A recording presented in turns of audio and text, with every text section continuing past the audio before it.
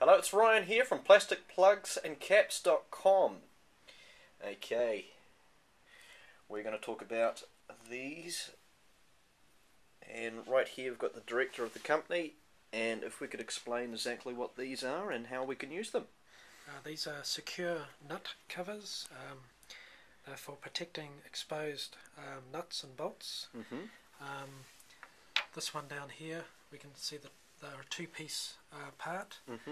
Um, firstly, the base is secured down uh, with uh, the bolt, Mhm. uh, the head of the bolt, and then um, once that's secured onto the um, piece of timber uh, and the, the nut that's being protected, or the bolt, um, the cap can be pushed on and you are left with a, a secure nut cover which avoids people tampering and um, has a nice round finish, smooth finish, um, which has uh, got good um, visual appeal as well.